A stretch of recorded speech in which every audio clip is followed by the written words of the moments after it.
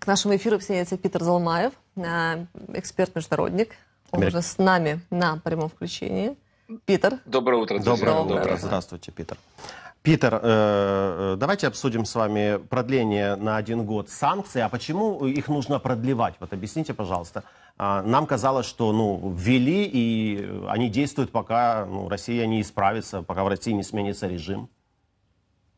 На самом деле большинство из этих санкций, они действительно огранич... ограничены временем. Mm-hmm. То есть э, у них, э, помните, с 2014 года вот э, не только США, но и Европа постоянно продлевают санкции, потому что, собственно, и смысл санкций в том, чтобы каждый раз, э, когда э, заканчивается и срок действия, посмотреть, выполнила ли страна, которая была им, им подвергнута, те обязательства, которые позволяют потом их снять. Поэтому, ну, вы знаете, в целом вообще нужно сказать, что все санкции, которые были приняты приняты за все это время, разумеется, имеют ограниченный, а, ограниченное влияние на ход военных действий а, э, и является, я сказал бы, такой вот бомбой замедленного действия а, для российской экономики, как мы это видели вот на примере Ирана. То есть то, что, собственно, не сделает невозможным для Путина продолжение войны в Украине, но по сути вводит его экономику вот в такой период долгой застойной, а, а, есть такая понятие инфляция, есть э, стагнация,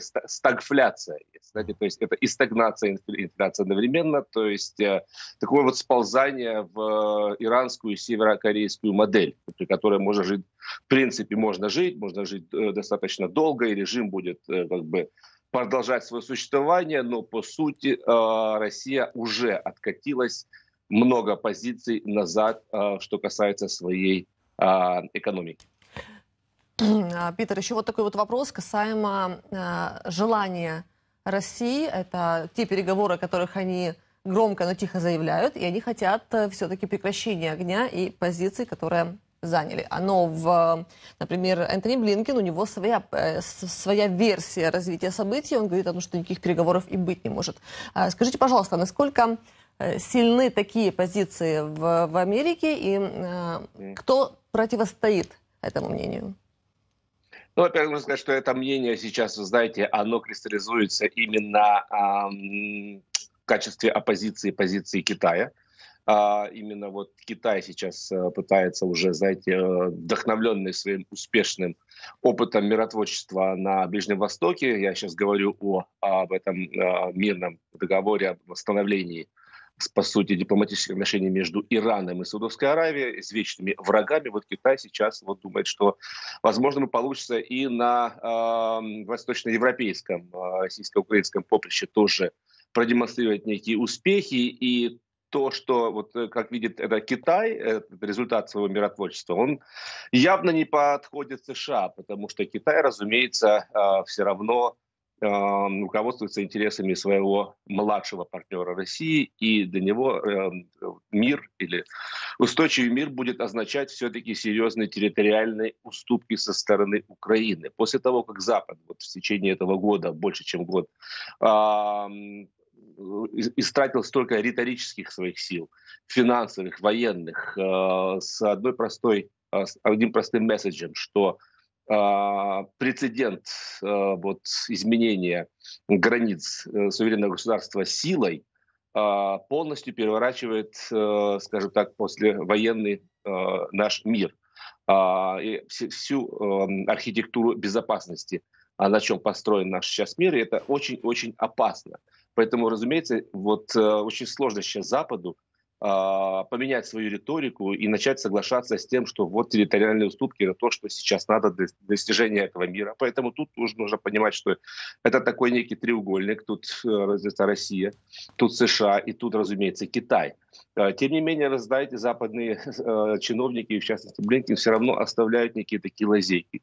Э, я думаю, что делают это правильно, в том числе и для самой Украины, э, потому что смысл здесь его риторики в том, что Украина должна решить, на каких основаниях и при каких условиях она может начать думать уже о мире. И вот, э, вот несмотря на то, что вот последнее заявление Блинкина, он сказал, что даже и Крым, то есть остается э, недопустимым, если Украина не считает правильным его а, скажем так, отдавать взамен на мир, значит, э, вот так оно и должно быть. Тем не менее, он э, эту лазейку для себя сохранил и для Украины в том числе, когда сказал, что ди, дипломатия, именно дипломатия все равно еще сыграет свою роль, я буквально его сейчас цитирую, потому что Киев, допустим, может решить не возвращать все свои территории военным путем. Такая вот, знаете, это то, что называется читать между строк. Это очень важное, мне кажется, его а, заявление, а, чтобы опять-таки дать возможность и, для, и поле для маневрирования Украине, если она решит, что, допустим, возвращение Крыма может быть осуществлено не военным, а каким-либо другим, в том числе дипломатическим путем. Но в то же время Российская Федерация готов, выражает уже свою готовность к мирным переговорам, но очень в странном образе, э, странным образом, как обычно.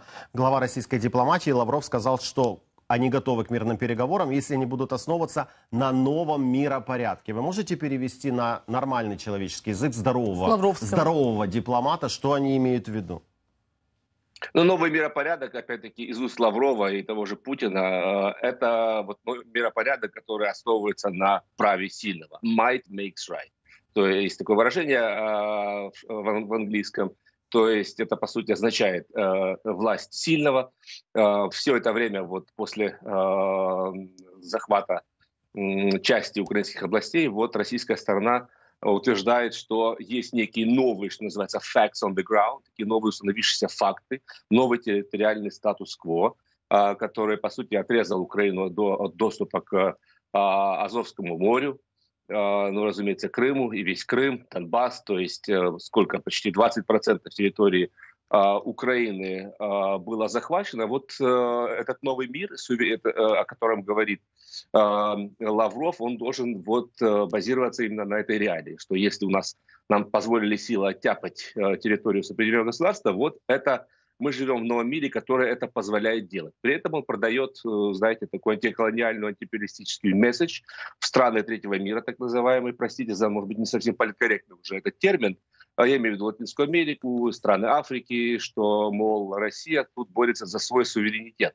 Но опять-таки российский суверенитет сводится к тому, собственно, что опять-таки а, сила сильного, а, право сильного, простите, и а, еще тут присовокуплю то, тот э, постоянный такой слоган, девиз, который мы слышим от российских пропагандистов, что территория России, граница России, э, России нигде а, как бы, то есть а, а, они не, территория России нигде не заканчивается, и границы постоянно расширяются. Вот это и есть концепция, собственно, России. Поэтому здесь действительно очень сложно понять, что означает этот новый миропорядок. Скорее всего, он, я бы его назвал новым мировым беспорядком. Беспорядком. И, собственно, Россия является сейчас самым таким знаете, активным пропонентом этой новой концепции и несет миру настоящий э, хаос. Ну, то есть такое планомерное навязывание своих новых правил, да, то есть э, чтобы привыкали уже к тому, как они ну, видят и хотят э, пред, видеть. Представьте себе, Екатерина, представьте себе этот прецедент. Что это за прецедент таким образом? Если Россия утверждает, что Украина это историческая часть России, и языки русский украинский вообще, если не одинаковые, то совсем близкие, поэтому вот России есть все претензии э, и все э, э, привилегии, скажем так, эм, и на территории, что касается территории Украины, то это открывается такой вот ящик Пандоры в целом ряде стран. Да, почему Италии, как знаете, вот вы, Катерина, хорошо знаете эту страну, жили там и владеете итальянским. Ее можно назвать правоприемницей вообще Римской империи, латинского языка, Э, как, наверное, вот э, главной составляющей этих вот а, знаете, этого романского мира, скажем так, куда также входят Франция, и Португалия, Испания, Румыния. Почему Италия завтра не заявить, что это все исконные территории, и она как правоприемница Римской империи должна э, отвоевать себе и Испанию, и Португалию, и Каталонию, и Румынию и так далее. Это просто один пример, таких примеров по миру крайне много. Вот Путин своей риторикой об этом неком новом миропорядке, собственно, и подводит а, к тому, что вот все эти вопросы будут пересматриваться, и ни одна из стран, а, которая соседствует с большим э, и более сильным военным, а, в военном смысле, в том числе, а, соседом, а, не может спать спокойно.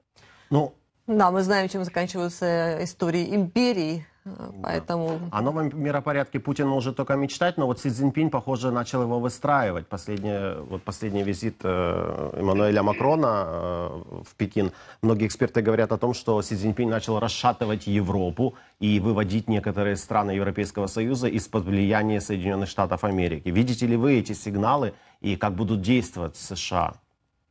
Ну, а, по крайней мере, попытки эти действительно ведутся. И, разумеется, Си Цзиньпинь был э, крайне воодушевлен тем фактом, что Макрон привез с собой в делегации э, представителей около 50 французских э, компаний, разумеется, которые или уже имеют, или хотят иметь э, экономические связи с Китайской Народной Республикой. Вот э, военные, многие эксперты, э, французские эксперты обратили внимание на то, что, собственно, э, это немножечко подрывает, когда я говорю немножечко, я беру это в кавычки, подрывает месседж Макрона о том, что э, собственно, э, главным остается сейчас украинский вопрос. Он это пытался поднять, но вот знаете, когда он привозит такую вот а, с собой антураж э, бизнес-лидеров, э, это немножко подрывает этот месседж, потому что это а, как бы открывает э, поле для экономической деятельности вот в отрыве от вопроса Украины. То есть, да, если даже вы, то есть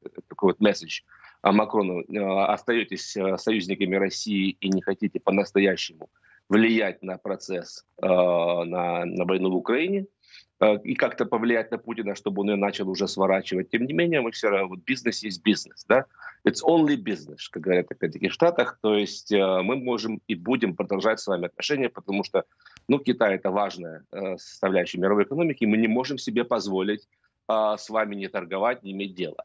Поэтому тут двоякий такой месседж. Кое-что все-таки Макрон добился риторически, и было совместное заявление, где опять-таки было уже в, очередной раз заявлено о недопустимости а, э, ядерной войны, использования ядерного оружия, а также э, необходимости прекратить террор против гражданского населения. Это тоже некий такой сигнал, и российские пропагандисты уже, им уже пришлось попотеть и пытаться как-то отреагировать на это, э, вот встав в такую вот э, защитную э, позу. Но опять-таки, да, как вы Алексей правильно заметили, э, Китай действительно крайне активизировался на дипломатическом фронте после этого успеха, по крайней мере, на вот, начальной стадии этого э, медиаторства в, между Ираном и Саудовской Аравией. Вот сейчас Китай э, начинает пытаться, как вы сказали, расширить эти противоречия в стане евроатлантического а, союза между англосаксонскими державами, Британией, Штаты, с одной стороны, и континентальными а, европейскими. И, собственно, давайте еще а, заметим, что это и есть э, краеугольным камнем российской дипломатии, вот тоже попытаться посеять вот такую, вот, знаете, раздор между западными союзниками. Ну, по поводу ядерных э, заявлений Си Цзиньпиня, надо внимательно в ближайшие недели следить за руками двух ядерных шулеров – Путина и Лукашенко. Посмотрим, э, угомонит ли это их э, риторику о новой ядерной войне. Спасибо вам огромное. Питер Залмаев присоединялся Спасибо, к нашему эфиру. Хорошего дня вам, Питер.